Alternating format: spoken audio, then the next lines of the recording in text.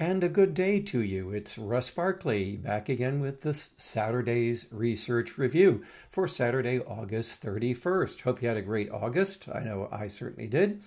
Uh, as always, let's get started with a couple of dad jokes to warm things up, and then we'll get into the four articles that I found this week that I thought were particularly worth commenting on. So, your dad jokes come from the website prevention.com this week, and here they are. I used to have a fear of speed bumps, but I'm slowly getting over it. I just knew you'd like that one. So, I had to get a neck brace last year, and I haven't looked back since. Yeah, I probably should for that one. You bet. So finally, here's another one for you. So I don't want to be friends with Dracula anymore. He's such a pain in the neck.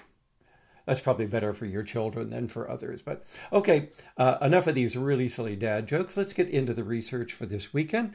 And we have, first up, an article on positive emotion regulation difficulties and social impairments in adolescents with and without ADHD. This study comes to us from Massachusetts, and it is a study using a good sized sample of teens with ADHD and looking not only at the level of their ADHD symptoms, but especially at their capacity to regulate their positive and negative emotions. This article, as you can see here, was published over in the journal Research on Child and Adolescent Psychopathology. Now, we've known for a while that ADHD has an inherent problem with emotional self control. And this is especially problematic for the negative emotions, although my theory of executive functioning and ADHD has argued that it would apply to all emotional expression, but the emotions most likely to be costly to an individual, particularly in social situations, are the negative emotions anger, impatience, hostility, aggression, and so on. This study looked at whether or not difficulties regulating positive emotions might also contribute to peer relationship problems or not. And that is exactly what they found. Even controlling for the effect of negative emotions on the social impairments related to ADHD, and there were such relationships, they found that impulsiveness coupled with positive emotional expression did predict problematic social interactions. So it isn't just the expression of negative emotions, but the inability to regulate positive emotions can also have detrimental effects on the peer relationships of teens with ADHD. So, very interesting study there that helps to confirm not only uh, my theory of ADHD and emotion regulation, but goes further to actually give us the evidence now on positive emotions being problematic for ADHD teens. Okay, next up is a study that looked at the genetic relationships between ADHD and other disorders such as major depression and schizophrenia and antisocial behavior or criminal behavior. And what it found is that several of these disorders had a causal relationship with antisocial behavior. ADHD being chief among them, and that these causal relationships were in part mediated by shared genetics. One interesting gene that they identified is the FOXP2 gene. Now, I find that interesting because that gene is also related to language development in humans. And we know that individuals who engage in antisocial behavior get less education, often have somewhat lower levels of intelligence. And this gene may help to us to understand those relationships since people with language problems may have difficulties in school, may not score as well on intelligence tests, particularly on the verbal portions. And all of that may then result in them drifting over to antisocial behavior, coupled, of course, with the impulsiveness of ADHD. So, sort of a fascinating study there on the relationship of these disorders to antisocial behavior and the possible role of shared genetics between the disorders, especially ADHD, and risk for antisocial behavior. So that article came to us out of China, and it was an article published over in the Journal of Affective Disorders. All right, next up is an article that comes to us out of Canada. This one was published in the Journal of Exercise, Movement, and Sports. Uh, I'm actually reviewing it over on the SCAPPS website, but you can get it over at the journal as well. This is an article that looked at whether or not having ADHD is linked to athletic performance, particularly the level of athletic development in athletes. Done in Canada, it looked at 138 students attending Canadian universities. It looked at their degree of ADHD. It looked at their degree of athletic competence and participation.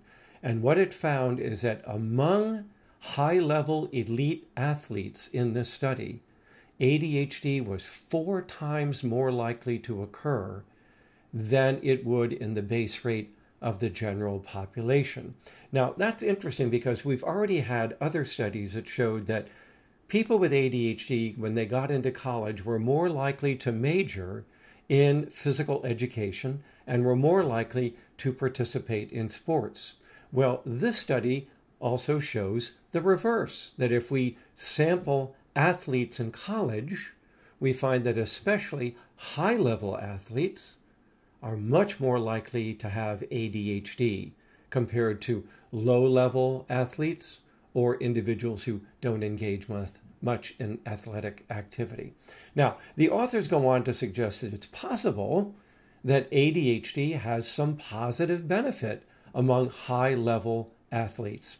That's true, but remember, the study is purely correlational, and we really can't make a causal interpretation the way they have. So, it's just as possible that people with ADHD are much more likely to gravitate toward athletics and even move on up to high level athletics, finding it beneficial for the management of their ADHD, but also finding that it's a great niche to be ADHD, that one doesn't pay as much of a price for having ADHD symptoms in athletic competitions or athletic majors or performance than it would if they had ADHD and they were in some other sport, excuse me, not sport, but some other course or major in college. So we have to be careful there about causal interpretations here. But a fascinating study showing an overrepresentation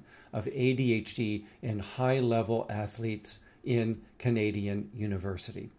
Okay, my last study that I want to talk about comes from the Journal of the Formosan Medical Association. It comes to us out of Taiwan. Uh, and this is a study on the links between ADHD and problem drinking, that is, alcohol abuse, in the college population. Now, this happens to be studying college students in Taiwan, but I can tell you that this finding of a link between ADHD and alcohol abuse has been found in U.S. universities as well. So, whether we start with ADHD and look at alcohol use, which is higher in ADHD college students, or whether we look at people who have problematic drinking at the university level, we find that ADHD is overrepresented. So, it's kind of a two way relationship there.